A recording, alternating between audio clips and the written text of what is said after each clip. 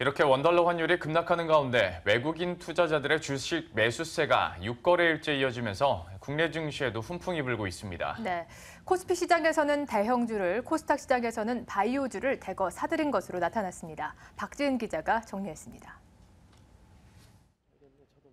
외국인 투자자들이 국내 코스피 시장에서 오늘도 매수세를 이어갔습니다.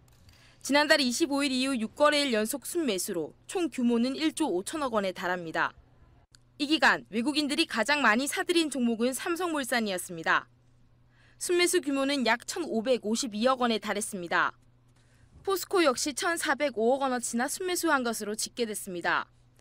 이 밖에 현대차, SK텔레콤, LG생활건강, 한국전력 등 시가총액 상위 종목들이 외국인 순매수 상위권에 이름을 올렸습니다. 한국의 기업보다 한국의 시장을 샀다는 분석입니다. 낮은 코스피 지수와 함께 얼마 전 1240원 수준까지 올랐던 환율로 가격 매력이 더욱 높아졌다는 설명입니다. 외국인들은 코스닥 시장에서도 지난달 26일부터 매수 우위를 기록했습니다. 이에 따라 코스닥 지수는 오늘 670선을 돌파했습니다. 코스닥 시장에서는 바이오주가 외국인들의 러브콜을 받았습니다. 5거래일간 외국인들은 셀트리온의 주식 324억 원어치를 순매수한 것으로 집계됐고 메디톡스, 휴젤, 인트로바이오 등도 외국인 순매수 상위에 이름을 올렸습니다. 전문가들은 당분간 외국인의 매수세가 이어질 것으로 내다봤습니다. 특히 중소형주보다는 대형주에 자금이 몰릴 것이라는 전망입니다.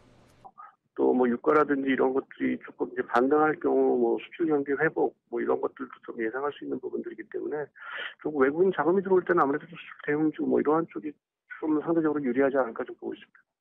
올해 유독 추운 겨울을 보낸 국내 증시가 외국인들의 귀환과 함께 이른 봄을 맞이하고 있습니다. 주가를 흔들 또 다른 악재는 없는지 꼼꼼히 확인해야 할 것으로 보입니다. 머니투데이 방송 박지은입니다.